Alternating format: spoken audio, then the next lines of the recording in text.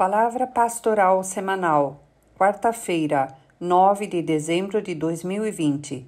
Bispo Silva. Amados irmãos, queridas irmãs, o meu cordial boa noite. É uma alegria estar pela primeira vez compartilhando com você a palavra pastoral confiando em Deus, que através do seu Espírito nos revelará as palavras necessárias para alegrar a, a nossa alma e fortalecer a nossa fé. Quero também transmitir o desejo de bênção e as lembranças do amado apóstolo distrito os amados apóstolos e os amados bispos. A palavra pastoral de hoje é a mesma indicada para a quarta-feira na igreja. E o texto relacionado está em Provérbios capítulo 21, versículos 2 e 3, que diz: Todo o caminho do homem é reto aos seus olhos mas o Senhor sonda os corações. Fazer justiça e julgar com retidão é mais aceitável ao Senhor do que oferecer-lhe sacrifício. Meus amados, minhas amadas, estamos vivendo o tempo de advento, tempo de arrependimento e de refletir sobre nossas atitudes. Alguém poderia perguntar sobre quais atitudes devo eu repercutir? Meus queridos irmãos, minhas queridas irmãs, cada ser humano adulto tem total ciência daquilo que faz de bom ou não, daquilo que faz correto ou não.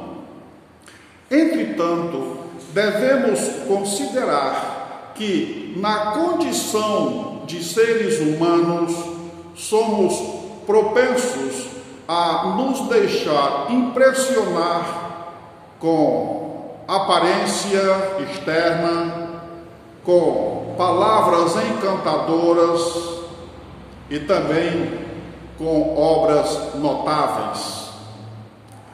Porém, isso pode nos levar ao engano com respeito à verdadeira natureza do nosso próximo. O seu modo de pensar e também os motivos que o levaram a agir daquela forma que muitas vezes nós reprovamos. É comum pessoas fazerem comparações entre situações corriqueiras do nosso cotidiano e aquilo que vem de Deus. É muito comum, é muito frequente, eu diria, acontecer esse tipo de comparação. Porém, isto é um equívoco. A gente precisa considerar que o amado Pai Celestial não vê como veem os humanos, não pensa como pensam os, os humanos e não age como agem os humanos. Amados irmãos, queridas irmãs, no nosso texto bíblico está escrito: Mas o Senhor sonda os corações. Ou seja, o Senhor conhece a intenção do Espírito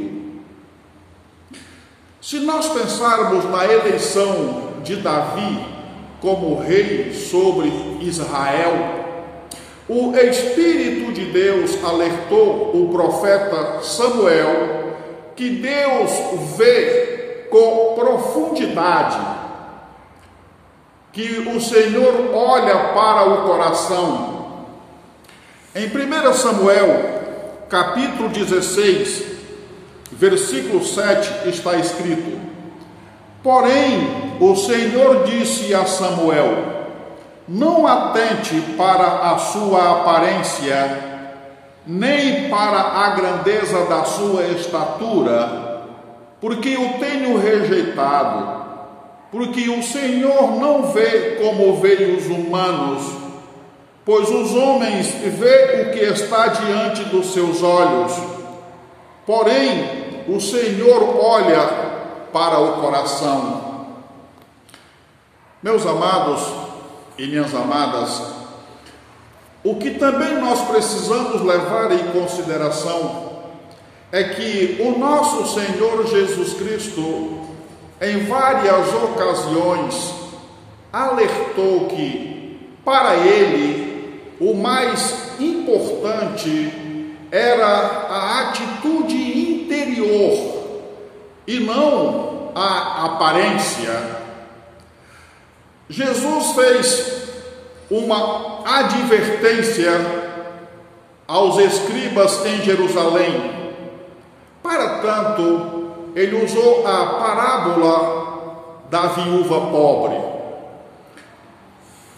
O Senhor deixa claro que a contribuição da viúva, ou seja, apenas duas moedas, tinha um peso maior perante Deus do que as altas contribuições dos ricos. A Bíblia não diz exatamente quanto os ricos contribuíram, mas diz que era muito. Irmãos, irmãs, esta afirmação pode ganhar um sentido figurado. Por quê? Porque as nossas possibilidades financeiras de apoio à igreja, embora importante, elas são diferentes de pessoa a pessoa. Assim também são as nossas forças físicas assim também é a possibilidade de tempo para colaborar na obra do Senhor. Portanto, amados irmãos, queridas irmãs, temos de pesar bastante quando tivermos de fazer observações sobre aquilo que não concordamos, mas que é praticado por alguns irmãos. Lembro-me do amado apóstolo de Distrito de Descanso, Raul Montes de Oca, quando ele queria se referir a alguma coisa que não devíamos fazer, ele dizia: Isso não é a nossa praia. Meus amados e minhas amadas, não é a nossa praia, parafraseando o apóstolo distrito, fazer observações negativas sobre aquilo que os nossos irmãos praticam na sua vida. O que é determinante é que o que quer que façamos, o que quer que os nossos irmãos façam, que o façam de todo o coração, que o façam com alegria, que o façam com amor a Deus e a sua obra. Em verdade, é a Deus que os nossos amados precisam agradar. Amados, e amadas, vale frisar que nada é insignificante para Deus se é feito com sentimento correto. Em Lucas, no capítulo 18, do versículo 9 até o 14, ali fala da parábola do fariseu e do publicano.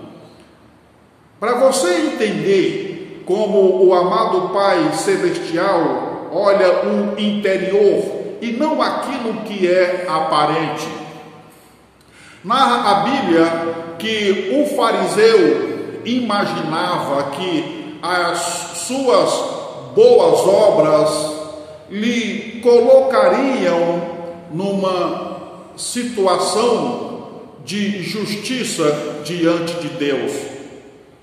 Enquanto o publicano, ao contrário, que tinha consciência dos seus atos pecaminosos, tinha consciência das suas fraquezas e também das suas imperfeições, ele pedia ao Senhor por graça. E qual a resposta que o Senhor deu? O Senhor deixa claro que foi o publicano que desceu justificado, ou seja, foi o publicano que foi reabilitado diante de Deus. Amados irmãos, queridas irmãs, também nós podemos cometer erros. Nós podemos, às vezes, nos colocar em um degrau acima dos outros membros da congregação. Ou podemos até mesmo fazer acusações baseadas em indícios banais. No entanto, os irmãos têm muita dificuldade. E a gente precisa entender o lado dos irmãos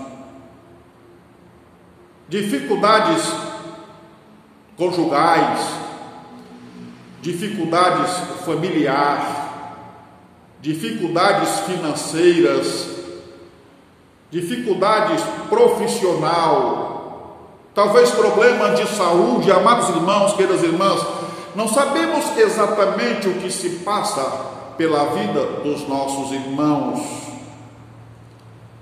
Se alguns de nós não temos tais problemas, não significa que temos de estar orgulhosos por isso. Mas temos de ter a ciência que todos estamos sujeitos a passar por tais circunstâncias. Portanto, meus amados e minhas amadas, queremos pensar nas advertências que o Senhor fez aos fariseus, aos escribas e aos fariseus. Sobre isso a gente encontra no Evangelho de Mateus, capítulo 23. Por outro lado, apesar da possibilidade de fracasso, temos a certeza que podemos confiar na graça amorosa e poderosa perdoadora de Deus. Claro, para isto, precisamos nos esforçar para alcançar um coração puro, um coração arrependido diante de Deus.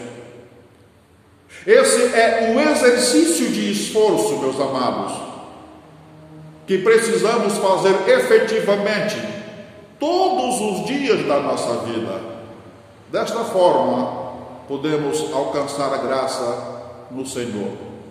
Amados e amadas, obrigado a todos, um descanso abençoado, fique em paz, fique com Deus e até breve.